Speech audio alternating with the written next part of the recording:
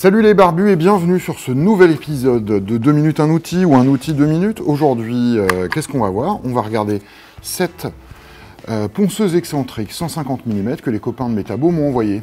Petit disclaimer, cette machine je ne l'ai pas achetée, c'est les amanches de Metabo qui me l'ont envoyée. Alors comment est-ce qu'elle s'appelle cette machine? Je vais mettre mes lunettes. Donc elle s'appelle la SXE 150-50BL. Bien sûr, il y a les caractéristiques et les liens qui seront dans la description. Le but ici, c'est pas de faire une review complète, mais c'est de vous donner mon avis. J'étais très très curieux sur cette machine, puisqu'elle ressemblait comme deux gouttes d'eau à euh, la Mirka. Euh, la Mirka, je sais plus trop quoi, je vous mettrai aussi un lien dans, la description.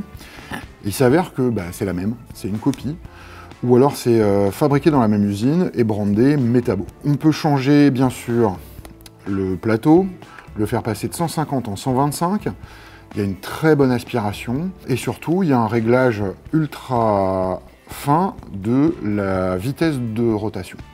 Donc il y a plusieurs vitesses de rotation, de toute façon vous verrez ça dans la petite démo que je vais faire après. Il y a bien sûr le bouton on-off et il y a euh, le démarrage de euh, cette ponceuse excentrique. Cette ponceuse excentrique, elle, normalement, elle est en trois modèles, donc elle est en 2, 5, 5 et 8. Qu'est-ce que c'est? C'est le nombre de millimètres. Si ça vous intéresse, il y a des trucs techniques, euh, on s'en fout. C'est euh, en gros euh, quelle, est la violence entre guillemets de la ponceuse. Celle-là, c'est le milieu de gamme, donc elle est pas fine, pas super bourrin, mais au milieu. Comparée à mes autres ponceuses, elle pèse 5 fois moins. Ça, c'est un super gros avantage. La deuxième chose, l'ergonomie est vraiment adaptée.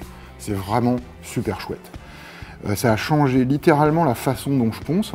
C'est une machine qui coûte un peu cher, qui coûte environ, euh, je pense, euh, je vous mettrai le prix exact, je suis en train de me foutre de la peinture partout, qui coûte à peu près dans les 500 balles.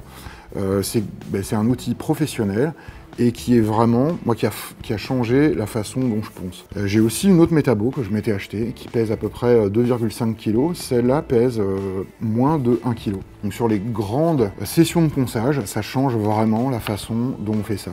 L'aspiration est très bonne. J'ai que des bonnes choses à dire. Euh, le câble, on peut enlever le câble, je crois. Attendez, je vais essayer. Voilà. Donc si tu as envie de la trimballer dans ton sac pour aller crâner, tu peux. Euh, elle est livrée bien sûr dans un espèce de sustainer. C'est cher, mais euh, si comme moi vous poncez tout le temps, ça vaut vraiment le coup. J'ai pas grand chose d'autre à dire en fait. Comme d'habitude, des questions, des insultes, tu sais comment faire. Tous les liens pour me joindre sont dans la description. Tu bien sûr laisser un commentaire, évidemment tu t'abonnes. Si toi aussi tu as cette ponceuse, n'hésite pas à laisser un avis donne peut-être euh, des, informations complémentaires que j'ai pas laissées. Euh, je ferai une vidéo beaucoup plus détaillée sur l'utilisation de cette ponceuse, parce qu'elle est vraiment bien. Mais en tout cas, voilà mon avis en deux minutes. Voilà, c'est tout pour cet épisode. J'espère qu'il vous aura plu. En attendant le prochain, faites des trucs, inspirez-vous et que la barbitude soit avec vous.